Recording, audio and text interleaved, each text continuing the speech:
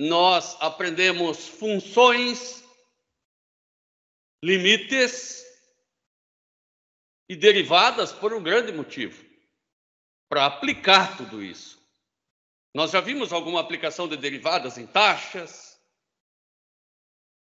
em cálculo de erros, nós vamos ver muito mais ainda. Agora, em cálculo 1, nós vamos ver construção de gráficos. Mas não daquele, daquela meia dúzia que a gente decorou de funções. Nós vamos ver de gráficos mais genéricos. E como a derivada ajuda? Bom, se a derivada é positiva, né? Aqui eu sei que a derivada é positiva, logo a função cresce. Aqui a derivada é negativa, aqui a derivada é positiva. Nesse pontinho aqui, a derivada é zero, nesse pontinho aqui a derivada é zero, e se a função for constante, a derivada é zero, é óbvio, né? Constante é assim, ó. Se ela fosse reta assim, ela não é constante, ela simplesmente é uma reta.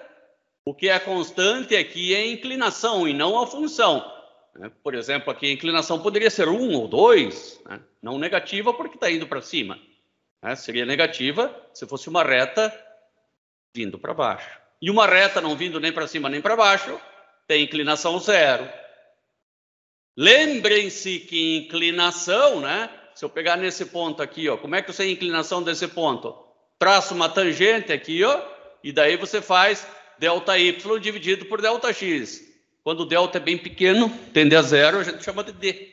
Só isso. Bom, derivada, então, agora ficou fácil. E aqui pede-se, encontre os intervalos onde essa função cresce ou decresce. Bom, eu vou encontrar esses intervalos sem olhar para o gráfico, porque olhando para o gráfico é moleza. Agora, sem olhar para o gráfico. Para eu saber onde a função cresce ou decresce, eu tenho que saber inclinação. Inclinação é a mesma coisa que derivada. Então, a derivada, né, eu posso só escrever f', né, o ideal é f' de x. Mas se eu só escrever f', eu tenho que estar ligado que é de x igual a derivada de x é 2x, derivada de 4x é 4, derivada de 3 é derivada de uma constante que é zero. Essa é a derivada daquela função. E agora eu tenho que encontrar quando que essa função é maior e quando que ela é menor do que zero. Isso é fácil. Tá? Eu vou fazer uma retinha aqui, ó, uma retinha. Vou escrever aqui f', né? E eu sei que f' é 2 que multiplica x menos 2. Vou escrever aqui embaixo. Igual a 2 que multiplica x menos 2. Quando que é f' igual a zero? Quando x igual a 2. Então eu coloco aqui, ó. 2. Quando x igual a 2, f' igual a zero. Se x for menor do que 2, f' é negativo. Se x for 2 a 0, se x for maior do que 2, está na minha cara ali que ele é positivo. Então eu sei que até 2 a função cresce ou decresce. É, isso aqui foi sem querer que eu fiz, Ana Júlia. Esse cresce, na verdade, decresce, tá? porque a derivada é negativa. E aqui ela cresce porque a derivada é positiva. E é bem o que eu observo aqui quando eu vou olhar para o gráfico até 2, ela decresce. Em 2 a derivada é zero e depois ela cresce. Mas só a Ana que me respondeu. Flávia, entendido isso aí? Sim. Legal. Agora, e a função x ao cubo? Onde ela cresce e onde ela decresce? Vou ter que fazer a derivada. Né? A derivada de x ao cubo, agora eu vou chamar de y', é igual a 3x ao quadrado. Vou escrever aqui y'. Quando que essa derivada é igual a, zero, uh, igual a zero? Quando x igual a zero. Então, quando x igual a zero, a derivada é zero. Né? Se o y' é 3x ao quadrado, para os x menores do que zero, isso dá positivo. Para os x maiores do que zero, isso dá positivo. Então, me parece que essa função cresce e cresce de novo. Que coisa, né? Eu sempre achava que depois que crescia ia decrescer. E isso faz sentido, porque se você olhar para o gráfico, a função cresce, a derivada é zero e voltou a crescer. E esse daqui, apesar de ser um ponto de derivada zero, ele é o máximo se olhar para o vizinho da esquerda e ele é o mínimo se olhar para o vizinho da direita. Então, ele não é um ponto nem de máximo nem de mínimo, simplesmente é um ponto de derivada zero. Ele não pode ser ponto de máximo e de mínimo ao mesmo tempo. Isso é uma coisa que não faz o menor sentido. x ao cubo, então, sempre cresce. Né? O que acontece é que num pontinho só ela não cresce nem decresce. Mas eu posso dizer que é uma função que está sempre crescendo. Agora, exemplo 3, use o gráfico dessa função, tá? Essa função, ela é aqui, ó, ela está colocada aqui, para fazer uma conjectura sobre os intervalos onde f está crescendo ou decrescendo. Se você usar o gráfico para fazer essa conjectura, você vai dizer, ah, ela decresce até aqui, ó. Vou fazer um pontilhadinho aqui, ó. Tentar fazer mais ou menos reto. Né? E vai dar aqui no menos 2, né? Menos 2. Aqui no zero ela tem um... Ela deixa né, de crescer para decrescer. Depois ela decresce até o menos 1. Um. Claro que é no olho, né? E depois ela cresce de novo. É isso aí. Bom, agora, pela derivada, que é esse teorema, determine se a sua conjectura está correta. Então, pega aquele abençoadinho ali, que é a função, e deriva. Vou pegar f' igual a 12x na terceira, mais 12x, odeio x ao cubo, mais 12x ao quadrado, menos 12x. Ainda bem que é só x, esse dá zero, né? Ainda bem que é só x que dá para colocar em evidência, vai virar x quadrado. Dei equação cúbica. Agora, quanto 12, não? E aqui, inclusive, eu errei. Aqui é 24.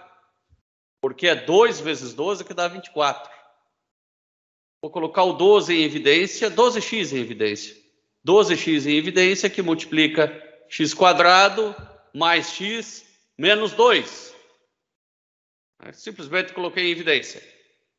Em x igual a zero, eu tenho um ponto de derivada nula. E agora eu vou fazer por soma e produto aqui, é fatorar aqui, né? E vou verificar se é possível de fatorar. Se tem x' e x duas linhas, é possível de fatorar. Vou fazer por soma e produto. Menos 2 e menos 1, menos 2 e menos 1. Olha, que coincidência, é menos 2 e 1, né? Menos 2 e 1 dá menos 2. Menos 2 e 1 dá menos 1. Então, esse f' ainda, eu posso escrevê-lo como 12x, que multiplica x mais 2, x menos 1. É sempre x menos x', x menos x. Por isso essa troca de sinais. Agora eu vou colocar aqui a uma retinha que eu vou fazer análise da derivada. Os pontos onde a derivada é nula são em, se eu olhar aqui para a derivada, né? x igual a zero, x igual a zero, ela vai dar zero. x igual a menos 2, ela vai dar zero. x igual a 1, ela vai dar zero. Agora vamos aos mais e aos menos, que é onde ela cresce e onde ela decresce. Peguemos quando x é bem negativo, então vai ficar menos, né, tipo menos infinito. Menos com menos com menos. Isso vai dar menos. Então ela vem decrescendo. Chegou no menos 2, ela dá zero, claro, porque no menos 2 vai zerar esse pedaço aqui. Agora eu escolho um valor entre menos 2 e zero. Vou pegar menos 1. É, se eu pegar menos 1, esse cara dá positivo. Esse aqui dá negativo e esse dá negativo. Bom, esse produto vai dar positivo. Ela vai crescer. Chega no zero, ela dá zero de novo, claro, por conta desse. Agora eu vou pegar um número entre 0 e 1. Um. Pega meio. Bom, meio, para meio esse é positivo, esse é positivo e esse é negativo. Opa, então vai ficar negativo, negativo, negativo. Agora o número bem maior do que 1, um, pega infinito.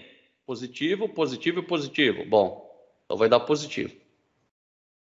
Agora eu sei que de 0 a menos 2 ela decresce, de menos 2 a 0 ela cresce, de 0 a 1 ela decresce, de 1 até infinito ela cresce. E se você olhar lá para o gráfico, é exatamente isso. Agora, nós vamos estudar um pouquinho também, além de quando a função cresce, quando ela decresce, quando ela é côncava e quando ela é convexa. É, é, é, claro que isso aqui é. A gente até chama de melhor do que côncavo e convexo, né? A gente chama de côncavo para cima e côncavo para baixo, né? É mais didático. E, e também é o termo técnico, côncavo para cima e côncavo para baixo. Em azul aqui eu tenho uma função côncava para cima. E, e, como é que eu identifico isso? Claro, se eu olhar é fácil, né? Côncavo para cima. Mas presta atenção na primeira derivada, que são essas tangentes. Essas, essas linhas roxas aqui. Ela começa negativa, ela passa pelo zero e passa a ser positiva. A derivada está crescendo. Se a derivada está crescendo, isso quer dizer que a derivada da derivada é positiva. Então, quando a segunda derivada é positiva, é côncava para cima. Já nesse caso, ó, a derivada começa positiva, ela se torna zero e depois a negativa. A derivada da função vai de positivo para negativo. A derivada está decrescendo. A derivada está decrescendo. Então, a derivada da derivada, ó, a derivada da derivada é menor do que zero. Ou seja, a derivada segunda é menor do que zero, nós já sabemos. Agora que derivada segunda é menor do que zero é côncavo para baixo. Aqui nós temos em cima uma figurinha, né, com côncavo para cima, côncavo para baixo. Existe um pontinho muito lindo aqui, onde ela muda de côncavo para convexo, né? Ou de convexo para côncavo. Ele tem o mesmo nome, ponto de inflexão. É onde a segunda derivada igual a zero. A primeira derivada não é zero. Ó, pode ver, nem aqui a primeira derivada é zero, nem aqui. Mas a segunda derivada é zero. E aqui um exemplo, né? Como interpretar esse ponto de inflexão. Vamos fazer um exercíciozinho. A figura ao lado mostra o gráfico de uma função, de novo que eu não gosto, cúbica. Eu não gosto porque normalmente achar raiz de função cúbica é difícil. Use a primeira e a segunda derivada de f para determinar os intervalos no qual f cresce, decresce, é côncavo para cima e para baixo localize os pontos de inflexão, né, que são onde a segunda derivada é igual a zero, e confirme se suas conclusões são consistentes com o gráfico. Muito bem, ele quer tudo, né? Ele quer crescimento, que é a derivada primeira, e ele quer concavidade, que é a derivada segunda. Né? Não sei por que, que eu fiz segunda lá em cima, se, era, se eu falei primeiro. A derivada primeira é, bom, polinômio é moleza. 3x quadrado menos 6x mais zero. Essa é a derivada primeira. Eu posso ainda colocar muita coisa em evidência. Vou colocar aqui o 3x em evidência. Daí vai ficar x menos 2, né? Olha aqui, ó, 3x quadrado menos 6x. Ok. Agora eu faço uma análise de sinais aqui dessa derivada primeira. Coloco aqui f' igual a 3x, x menos 2. Eu tenho um, uma boa análise para fazer aqui, uma boa análise, derivada igual a zero, né? Eu sempre tenho que encontrar esses pontos zero ou esses pontos onde a função não existe. Quando eu chamo de função, pode ser essa, pode ser a função primeira derivada, como pode ser a função segunda derivada. Todas são funções. Agora, essa a derivada, ela vai ser zero em x igual a zero e ela vai ser zero em x igual a 2. Quando x for negativo, muito negativo, né? Lá menos infinito. Então aqui vai ficar menos com menos, que vai dar mais. A função cresce. Quando x for 0 é 0, quando x for entre 0 e 2, né? Esse intervalinho aqui, x entre 0 e 2, eu vou colocar 1. Esse vai dar negativo e esse vai dar positivo. Então ela decresce. E quando x for maior do que 2, esse dá positivo também, tudo isso aqui fica positivo. Logo eu sei que a função cresce de menos infinito a zero. Vamos ver se é verdade, ó. De menos infinito a zero ela cresce. Olha aqui, ó. Tá legal, né? De menos infinito a zero ela cresce. Ela decresce de zero até 2. Isso aqui tem cara de 2. Então, de 0 até 2, ela decresce. E ela cresce de 2 para cima. Legal, ela cresce de 2 para cima. Fizemos análise de crescimento, agora vamos fazer análise de concavidade. Vou pegar outra corzinha aqui. Porque depois lá no gráfico nós vamos pintar com outra cor também. F duas linhas é a derivada da derivada. Então, 6x menos 6, né? E aqui eu vou colocar o 6 em evidência, x menos 1. Vou fazer a segunda derivada. Vou só trazer esses pontinhos aqui que eles não têm nada a ver com a segunda derivada, mas vai ser interessante para fazer uma análise. O único ponto onde a segunda derivada dá zero, onde muda a concavidade, é em x igual a 1. 1 está aqui no meio. Levar lá para cima também? Tá x igual a 1. Agora, quando x for menor do que 1, isso aqui tudo vai dar negativo. Então, ela é convexa, né? ou côncava para baixo. E quando x for maior do que 1, ela vai ser côncava. Vamos acompanhar no gráfico? Está sendo dito que até 1 ela é convexa. É verdade. É verdade, ó. Para cá ela continua sendo convexa. Acima de 1 ela é côncava, para lá ela continua sendo côncava. Então, olhando para o gráfico, nós confirmamos o que nós fizemos aqui com as nossas contas. Luca, certinho? Tudo tranquilo. Legal, vamos ao próximo então. É, aqui é o mesmo gráfico, depois vocês olham, né?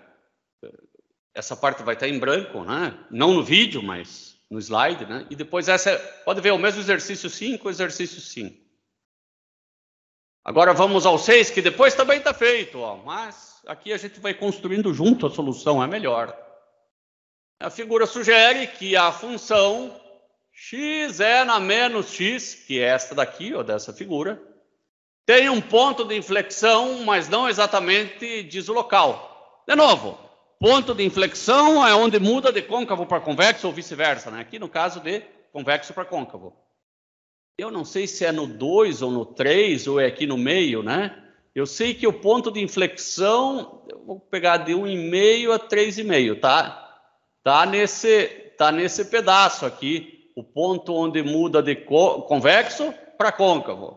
Né? Só se eu desse muito zoom ali para descobrir, mas como eu, isso é um print, né? Eu não tenho como dar zoom. Não ficou evidente né, do gráfico da figura, use a primeira e segunda derivadas para determinar os intervalos onde f cresce, decresce, côncavo para cima ou para baixo, e localize todos os pontos de inflexão. Eu acho que só tem um. Será que tem mais do que um? Vamos ver. Bom, temos a função, vou copiar ela aqui, ó, f de x igual a x é na menos x. Se eu quero crescimento, eu faço derivada. Né? Quando aumenta, quando diminui, ou quando é zero. A derivada, aqui o bicho começa a pegar, não é polinômiozinho. Derivada de produto. Derivada de produto é o quê? A derivada do primeiro vezes o segundo mais a derivada do segundo vezes o primeiro.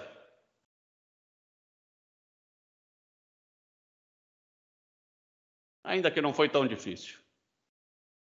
Aqui vai ficar E na menos X menos X, E na menos X. Eu consigo colocar o E na menos X em evidência, E na menos X que multiplica 1 menos X. E, para minha alegria, eu tenho que fazer a derivada segunda também, né? Vamos fazer já a segunda, depois a gente faz análise de, de crescimento. F duas linhas, né? eu posso derivar esse aqui, como posso derivar o de lá. Mas o DK tem um produto e o de lá também. Acho que vou fazer o DK. Então, a derivada do primeiro, menos E na menos X, vezes o segundo.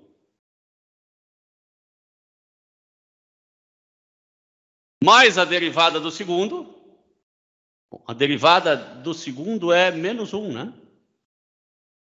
Menos 1. Vezes é na menos x. F duas linhas igual a menos é na menos x mais x é na menos x menos é na menos x. De novo, é na menos x em evidência. É na menos x que multiplica x menos 2. Vamos à análise de crescimento e concavidade. Né? Então, vou colocar em vermelho aqui o F duas linhas, que é a concavidade. A concavidade é igual a zero apenas em x igual a 2. Então, vou colocar aqui 2. Quando. Esse aqui sempre é positivo, tá? Não importa o valor de. Isso aqui é dividido por N x. Né? É na X sempre é positivo.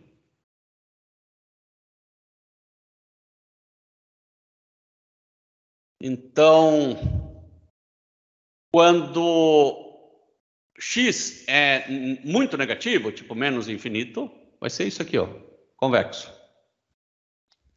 É côncavo para baixo, que eu estou chamando de convexo. Quando passa do 2, né, aqui é zero, né, no 2, quando passa de 2 é positivo.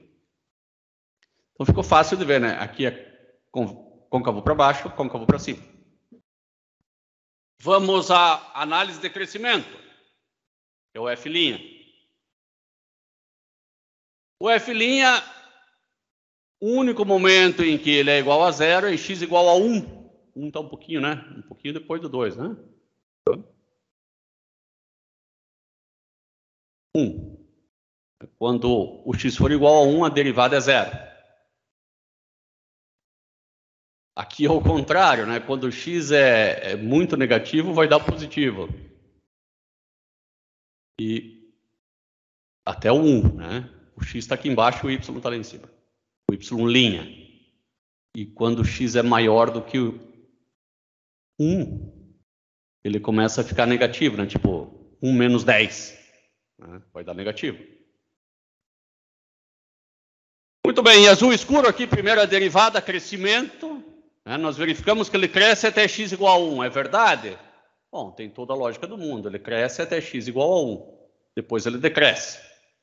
E a convexidade, vamos ver. Ele é convexo até 2, até aqui, ó. Até aqui ele é convexo. E depois de 2 ele é côncavo. Aí ele passa a ser côncavo. E agora vamos aqui a um que, que é bastante semelhante. Veja que nós ainda não estamos construindo gráficos. Nós estamos analisando o que está construído. O nosso pepino logo vai ser construir sem analisar. Não, não é sem analisar nada, mas sem ter o gráfico pronto para analisar. Agora a gente está dando uma de engenheiro de obra feita. É muito fácil analisar uma obra depois que ela foi feita, tanto as qualidades, principalmente os defeitos. É, agora, Quero ver o cara ser engenheiro de obra a ser feita. É o que nós vamos fazer. Nós vamos construir nossas obras e não ter obra pronta para analisar.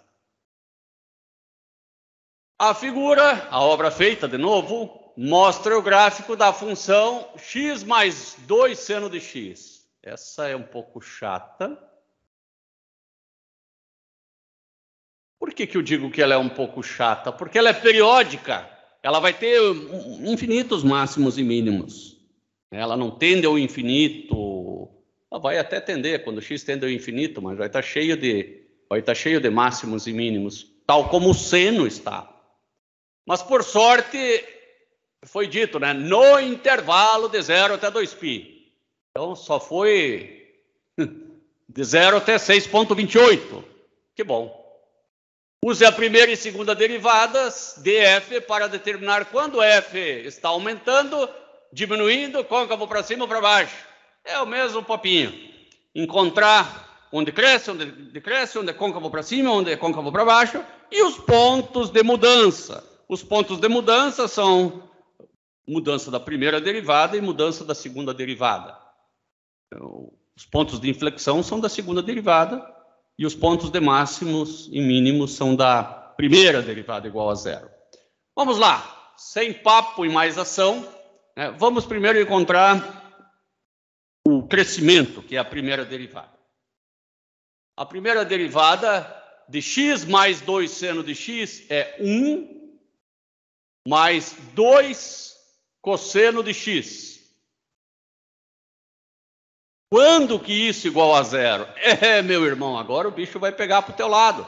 Né? 1 mais cosseno, 2 cosseno de x igual a zero. Você vai saber que isso é igual a zero quando cosseno de x igual a 0,5, ou seja, menos o meio, né? Menos o meio. Só igualar a zero.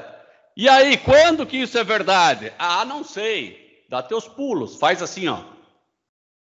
30, 45, e 60 graus. Escreve aqui seno e cosseno. Agora, todo mundo sabe contar. Um, dois, três. Três, dois, um. Sobre dois, sobre dois, sobre dois. Sobre dois, sobre dois. Raiz, raiz, raiz, raiz. Só não bota raiz no um por motivos óbvios, né? Não preciso dizer por que não. E aqui faltou o meio. Não tem menos um meio aqui, né? Não tem onde o cosseno é menos um meio, mas pelo menos tem onde ele é um meio, é nos 60 graus. Agora você corre para o círculo trigonométrico. Nesse eixo eu meço os cossenos e nesse eu meço, eu meço, eu meço senos. O raio desse círculo é 1 e o cosseno que é menos o meio, está aqui, né? Esse aqui é menos um, aqui é menos o meio, né? Esse é o cosseno que é menos o meio. Aí você bate nesse ângulo, bate nesse ângulo aqui. Tanto esse ângulo quanto esse ângulo, o cosseno vale menos o meio. E quanto que é esse ângulo? Não sei, não sei. Né? Mas eu sei aquele que dá um meio, que é 60 graus, né? 60 graus é mais ou menos esse ângulo aqui, ó, que dá aqui no um meio. Cara, se esse que dá um meio é 60, é óbvio que esse que está aqui é 60. Logo, esse ângulo vermelho aí só pode ser 120. Esse ângulo que sai daqui e vai até lá, né? Porque 6 vezes 3, 18 dá 180. Esse é 120. E esse para cá pode ser menos 120. Como você também pode dizer que ele é 240. Eu sei que quando o ângulo então é ou 120 ou 240 graus, o cosseno de x dá menos o meio. E quando o cosseno de x é menos o meio, a derivada é igual a zero. E aonde nessa função f de x aqui, eu vou ter derivada igual a zero, aqui ou aqui. É. Então, Ângelo, você está dizendo que esse ângulo aqui é 120? É bem isso que eu estou falando. Esse ângulo aqui é 120 e esse ângulo aqui, ó, é 240. Vai, lá está em π. Grande coisa está em π. Você tem que saber que 180 está para pi. Assim como 120 sabe Deus para qual teta. Faz a regra de 3. Né? Daí você vai descobrir que teta é igual a 120 vezes pi dividido por 180. Corta, corta, dá uma simplificadinha aí, divide por quanto? Por 6 em cima e embaixo, vai dar 2 pi sobre 6. Então, esse ângulo aqui ó, é 2π sobre 6. 2π sobre 6. Como o outro é o dobro, que é 240, é 4π sobre 6. Vou colocar 4π sobre 6. Eu poderia colocar também 3π, 4π sobre 6. Se eu dividir por cima e embaixo, vai dar. Professor. Só um pouquinho. 2π sobre 3. 2π sobre 3. Quem perguntou? Pode perguntar? Ali embaixo não seria 3, já que tu dividiu por 6 todos ali? Tipo 2π sobre 3. Claro que sim. Muito obrigado. Eu 2π sobre 3. Isso aí. Mas eu não me enganei, eu fiz isso aí só para fazer de conta, né? Só para ver se estava atento, né? 4π sobre 3, claro que não. Eu me enganei mesmo. 4π sobre 3. Ah, veja que esse π é como se fosse 3π sobre 3, né? Então tá legal, esses ângulos aqui eles são coerentes. Eu achei o, os pontos de máximo e de mínimo, né?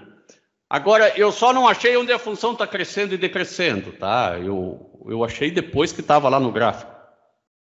Mas também, por outro lado, eu achei sim, eu achei porque eu achei os ângulos, né? Eu só não sabia se era de máximo ou de mínimo, sem olhar para o gráfico. Mas eu vou saber agora, se eu fizer isso, ó, eu vou colocar a derivada primeira e vou fazer essa retinha. Uh, que reta mais torta. Bom, acreditem nela. Agora eu vou começar aqui do, do zero e eu vou até o 2π. no intervalo fechado, né? Então eu vou pegar o zero e vou pegar o 2π também. Foi dito que tem que ser intervalo fechado. Agora eu vou dividir ele no, no, primeiro nesses pontos notáveis aqui, né? Então aqui no meio é π, aqui é π sobre 2, que é 90 graus, e aqui é menos 90 ou 270, que é 3π sobre 2. Agora eu vou colocar os meus pontos onde a derivada é zero. A derivada é zero em 2π sobre 3. Bom, se é, vou, se é, aqui é π sobre 3, ó. Aqui é π sobre 3, mais ou menos aqui, ó. π sobre 3, né? 2π sobre 3 tem que estar aqui, ó. Por quê? Porque eu dividi esse cara em três partes iguais, né? Então aqui, ó, π sobre 3, 2π sobre 3. Agora eu tenho o. Aqui, aqui também. 2, 3π sobre 3, né? Claro, que é π, né? 3π sobre 3. 4π sobre 3. E aqui 5π sobre 3. E depois 6π sobre 3, que é o 2π, óbvio. Né? Os pontos de derivada nula nós encontramos aqui, ó, 2π sobre 3 e 4π sobre 3. Então, esse aqui é um ponto que eu tenho que analisar com muito carinho, e esse daqui. Quando o, o cosseno, né, quando ele está para o lado, quando ele está para o lado de lá, né, para ângulos menores que 120 graus, né, ou 2π sobre 3, que é a mesma coisa, o cosseno ele é menor. Né? Ele, por exemplo, pega aqui, ó, zero, né? Pega esse ponto, 90 graus. O cosseno é zero, né? E a primeira derivada é positiva. Legal. Então ela vem positiva até 2π sobre 3. Depois, o, o, cosseno ele fica tipo, ao invés de menos 0,5, vai ser menos 0,6, menos 0,7, menos 0,8. É, pega até o menos 1, que seja. Né? Quando o cosseno for menos 1, a derivada vai dar negativa. Então, daqui até lá ela é negativa. E depois o cosseno passa a ser, tipo, pode pegar zero de novo para lá, passa a ser positivo. Bom, como aqui a função passou de crescer para decrescer, eu sei que é um ponto de máximo. Como ela decresceu para crescer, eu sei que é um ponto de mínimo. Ah, legal, ó. Ponto de máximo, ponto de mínimo. Deu tudo certo. Então, nós fizemos análise de crescimento, né? Cresce, decresce e cresce de novo. Falta fazer a análise da concavidade agora. O bom é que eu perdi a primeira derivada, mas eu faço ela rapidinho de novo. A primeira derivada é 1 mais 2 cosseno de x. A segunda derivada é igual a menos 2 seno de x. Lembrar que a derivada do cosseno é o menos seno, hein? O seno é o cosseno, do cosseno é o menos seno. Quando que eu tenho segunda derivada igual a zero? Né? Eu tenho segunda derivada igual a zero quando seno de x igual a zero. Aí ah, uma multa vai além de é x igual a zero, seno de x igual a zero. É verdade, é verdade, mas talvez tenham mais lugares. Tá, o seno eu meço aqui, né? em que ângulo que ele é igual a zero? Em zero, né? Se eu tenho esse ângulo aqui, ele é zero, sem dúvida. Mas agora acontece que para 180, ele também é zero. Então eu tenho que analisar dois pontos em particular aí. O ponto zero, né, no ponto zero, eu tenho um ponto de mudança de concavidade, um ponto de segunda derivada igual a zero. E no ponto 180, né, 180 é igual a π. E como que é o intervalo fechado, de 0 até 2π, eu tenho que pegar o 2π de novo. Afinal de contas, foi pedido para fazer nesse intervalo fechado, incluso o 0 e o 2π. Vamos à análise de sinal. Então, 0, inclusive, 2π, inclusive. Aqui eu tenho π, é só esses pontos que eu vou analisar, apesar que eu sei que aqui eu tenho π sobre 2 e 3π sobre 2. Né? Mas eu agora vou analisar nos meus pontos chaves, que são 0, π e 2π. O seno, né, porque é menos 2 seno de x a derivada. Conforme o seno varia entre 0 e 180, o seno sempre é positivo.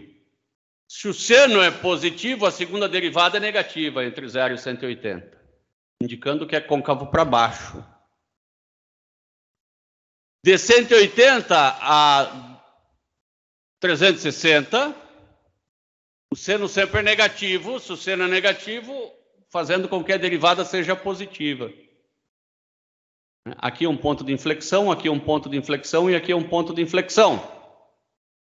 Então, convexa, côncava, né? E aqui a mudança de concavidade. É o que nós temos, ó. Convexo, côncavo, né? Pontos de mudança de concavidade aqui, aqui e aqui. Claro que a gente não desenhou para lá a figura, mas ela seria algo aqui assim, né?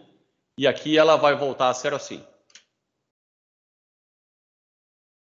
Laura, José, Flávia, Júlia, Luca, Ana,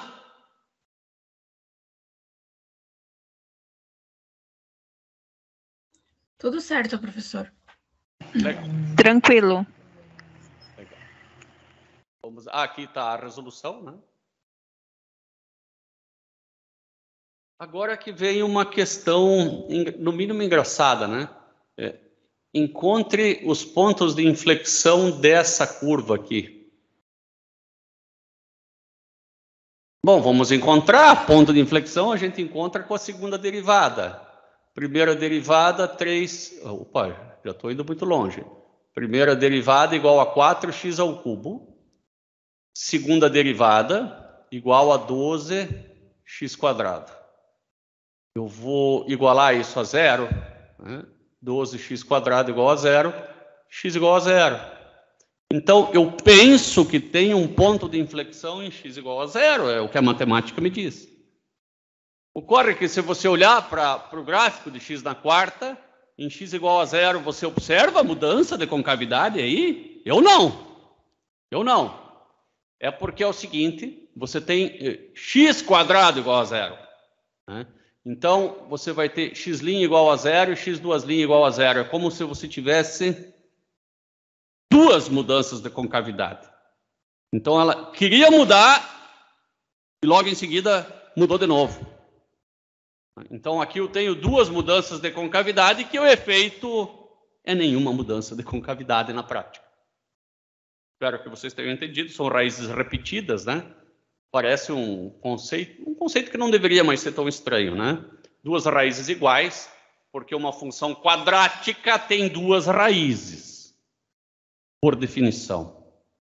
Nem que elas sejam iguais, parece forçar a barra, Parece, mas é, é o jogo.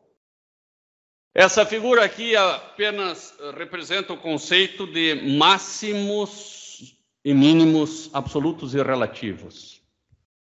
Esse ponto aqui, ele é um ponto máximo absoluto. Mas esse aqui também é um ponto de máximo. Só que ele não é o maior dos máximos, ele não é absoluto. Ele reina só na vizinhança dele.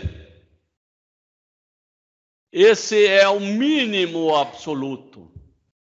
Mas esse aqui também é o mínimo, esse também é o mínimo, esse também é o mínimo. Ocorre que esse mínimo reina como mínimo só na vizinhança. Tem um bem mais mínimo do que ele aqui. É um conceito fácil assim de pegar. Né? O que é relativo é relativo a alguma coisa. E absoluto não tem, é o maioral. Mais alguns conceitos importantes, né? Então, aqui a derivada é quanto? Bom, vou fazer de conta que vocês sabem.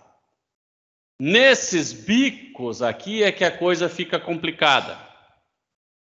Tá? Porque, veja que um pouquinho antes a derivada é quase zero, mas é positiva.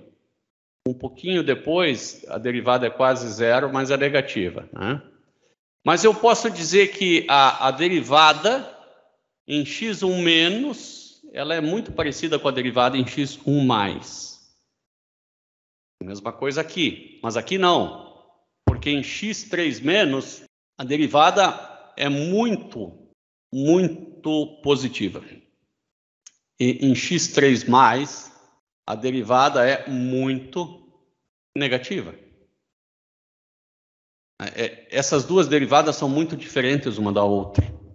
E quando os limites laterais são diferentes, o limite não existe. E a derivada é um limite, né? Lembre-se que a derivada é o limite quando ΔX tende a zero, df de x mais ΔX menos f de x sobre ΔX.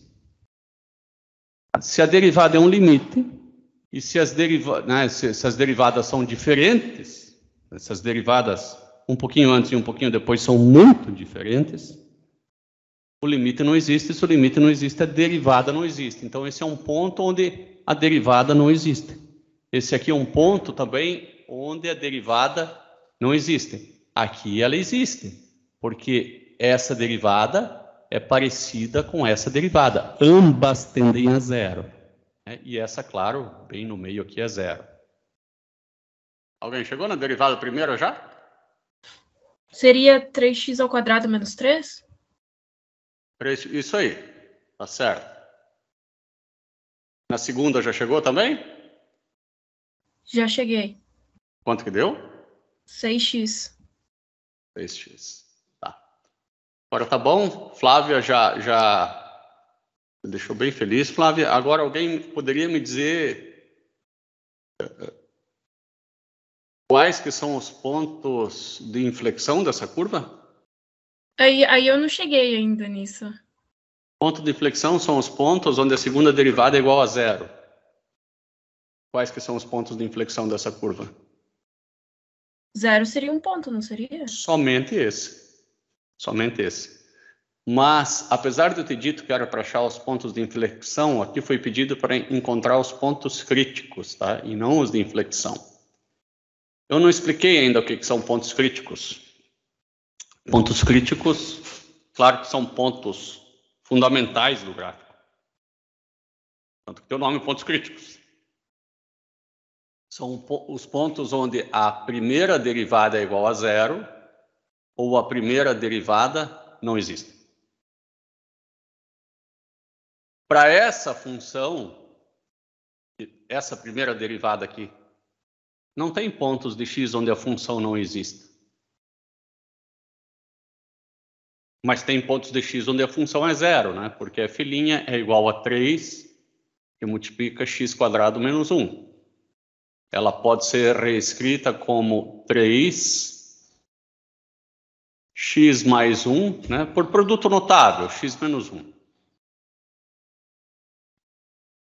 O domínio dessa derivada vai de menos infinito a mais infinito. E ela é zero quando x igual a 1 igual a x e, e x igual a menos 1. Então, quais que são os pontos críticos? Pontos críticos, né?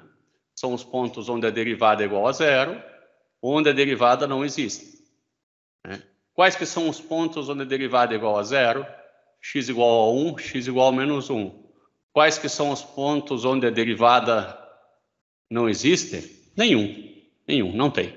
Então, os pontos críticos né, são apenas x igual a 1, x igual a menos 1. Só esses dois. Você poderia colocar o valor de y também, né? apenas substituindo, né? Então, vamos colocar menos 1. Fica menos 1, mais 3, mais 1. Isso dá 4 menos 1, 3. Né? Então, x igual a 1 e y igual a 3. O outro é x igual a 1, né? 1 menos 3, mais 1. Isso vai dar 2 menos 1 y igual a menos 1. Tá? Então, esses aqui são os dois pontos críticos da função. Eu vou fazer o gráfico dessa função para a gente conseguir enxergar esses pontos críticos. É, eu tenho aqui o gráfico da função, então, em x igual a menos 1, eu tenho um ponto crítico onde a derivada é igual a zero, e em x igual a 1, eu tenho um ponto crítico onde a derivada é igual a zero também. Não existe ponto onde a derivada não exista. Então, todos esses são pontos críticos aqui, ó. Derivada zero. Derivada não existe. Derivada zero. Derivada não existe. Aqui, ó, derivada zero. Derivada zero. Derivada não existe, né? Porque é 90 graus, não existe. Derivada não existe. Todos são pontos críticos. Agora a coisa vai ficar um pouco mais feia.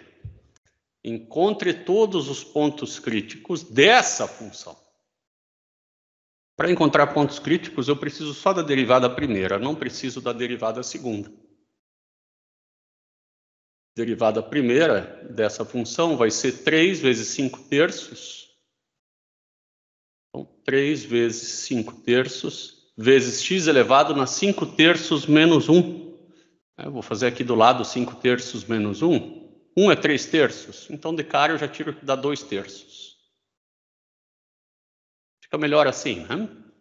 Menos 15 vezes 2 terços, vezes x elevado na 2 terços menos 1. 2 terços menos 1, né? isso vai dar menos 1 terço. Como eu, eu não curto muito expoente negativo, Talvez eu passe ele para baixo. Mas antes disso, eu vou ver se eu consigo colocar em evidência.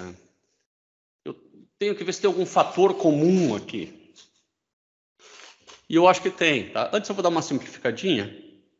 Se eu cortar esse com esse, né, só fica o 5. Se eu cortar esse com esse, também só fica o 5. Olha, eu tenho, eu tenho 5 5 dos dois lados. Então, eu vou dizer 5. E ainda eu vou pegar o menor dos dois, né? 5 vezes x elevado na menos 1 terço. Isso eu vou deixar como fator comum, porque esse valor é menor do que aquele. Bom, ele vai ter que multiplicar x elevado em alguma potência para dar 5 na 2 terços, porque 5 vezes x dá menos um terço, vezes x dá alguma potência aqui, vai ter que dar 5x dá 2 terços. Eu vou colocar p de potência aqui. Agora eu vou fazer 5 vezes x na menos um terço, vezes x na p, vai ter que dar igual a 5 vezes x na 2 terços. É isso, esse é primeiro termo aqui. Bom, esse 5 corta com esse 5. É. Agora eu vou ter x na menos 1 terço mais p. Vai ter que dar x na 2 terços. Então, para mim ficou evidente que esse x aqui tem que ser, esse p tem que ser 3 terços, né? Para este cara aqui ser igual a esse, p tem que ser 3 terços. Ou simplesmente 1. Eu vou colocar três terços agora por razões didáticas, né, porque senão parece que vai ficar muito fácil. Né? Esse mais esse, esse mais esse vai ter que dar o dois terços. É, assim como o outro vai ficar menos, né, o 5 já está aqui, 2 tem que deixar do lado de cá. 2 vezes 5, x dá menos um terço. 2 vezes 5, x dá menos um terço. Tá, agora está ok. Agora eu tenho a derivada primeira bem simplificadinha e fatorada. Né? A partir da derivada primeira, eu acho os pontos onde a derivada primeira é zero ou ela não existe. De novo, expoente negativo, não gosto. Vou melhorar isso. Vou deixar isso como 5. x menos 2, né? x dá 3 terços é x dá 1. Dividido por x dá 1 terço. Lembrando que x dá um terço é a raiz cúbica de x. Aqui eu consigo ver claramente que a derivada primeira, ela não existe em x igual a zero. Então, x igual a zero é um ponto crítico, sim. Eu também consigo verificar que a derivada primeira é igual a zero em x igual a 2. Então, esses dois aqui são dois pontos críticos, x igual a zero e x igual a 2. Tá? Por quê? Porque aqui a derivada não existe e aqui a derivada é igual a zero. Se você der uma olhada para a função, que é essa função azul aqui, você eh, consegue confirmar isso. Ó. Aqui, ó, em x igual a zero, a derivada não existe. Em x igual a 2, a derivada é zero. Então, isso corrobora com o que nós fizemos até aqui.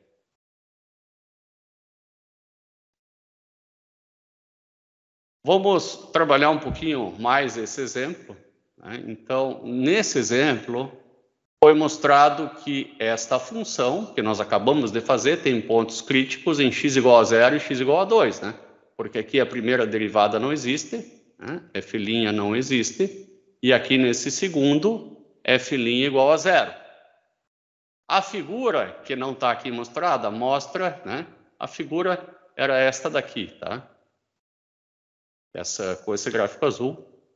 Ela sugere que tem um máximo no ponto x igual a zero e um mínimo em x igual a 2. De fato, né? A figura sugere que aqui é um ponto de máximo e aqui é um ponto de mínimo. Relativo, né? Relativo, porque essa essa função vai crescendo para lá e lá vai ter uma, lá no x igual a infinito vai ter outro máximo. Confirme usando o, o teste da primeira derivada, só da primeira derivada. Nós não, não vamos nem fazer segunda derivada aqui. Nós já fizemos essa derivada. Né? F' igual, eu vou copiar ela lá. Ela deu 5x menos 2. 5x menos 2 dividido por raiz cúbica de x. Então, raiz, ou x dá um terço, que é a mesma coisa. Eu tinha um ponto aqui em x igual a zero, né? aqui em x igual a zero, f' igual a não existe e em x igual a 2, f' igual a zero. Eu tenho que fazer análise de sinal da derivada ou de qualquer função, onde a função é zero ou ela não existe. Esses são os pontos críticos. Então, ponto crítico em si são os pontos notáveis. Ponto crítico mesmo é onde a derivada da função é zero ou ela não existe. Ela não existe aqui, ela é zero aqui. Vamos fazer quando x é menor do que zero. Né? Raiz cúbica do número negativo existe e é um número negativo. Né? E se o número for negativo, aqui em cima vai dar menos também, menos com menos, mais. Então eu sei que a função cresce até x, até x igual a zero, onde a derivada não existe.